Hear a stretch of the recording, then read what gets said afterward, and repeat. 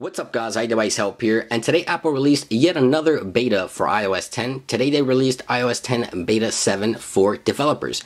Earlier in the week they released iOS 10 Beta 6 for developers, but today public beta testers can get their hands on Beta 6 and developers can get their hands on Beta 7 as of today. So all you have to do is go to software updates and the build number for the new beta, those interested is 14A5345 a.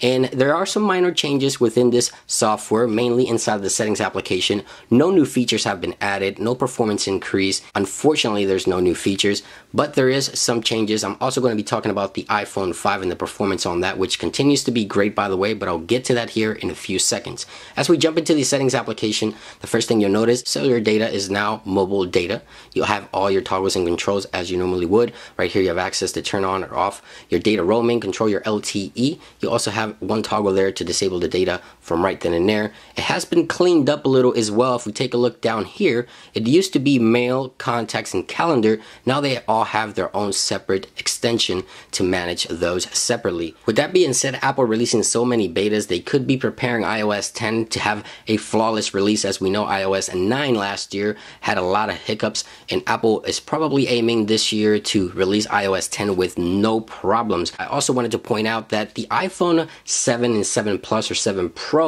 rumored announcement date is September the 9th. We're about two weeks and a half away from that, so this really indicates of Apple pushing software quickly to test before the official announcement and official release of the new hardware. If Apple introduces the iPhone on September 9th, there's also rumored that the iPhone would be launching on September the 16th. So hopefully the software is flawless by the time the release and with all these beta releases, it looks like Apple is aiming for that. Now let's take a look here at the iPhone 5 quickly and I wanted to go over some of the new beta performance. If we take a look at the first score, that'd be beta 1. The last image down here would be today's beta 7. And as you can see there, the performance on the single core dropped about 5 points, nothing major, but the multi-core score did have a greater increase on performance, which is also great. As I've been covering the iPhone 5, and as I've mentioned before, the performance on the iPhone 5 is just absolutely amazing. I think Apple is doing a great job with such an old device and the performance of the latest software to support a device like this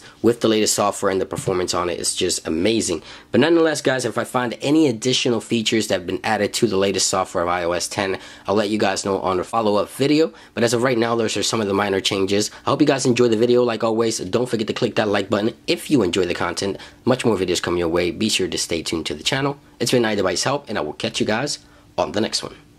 Peace.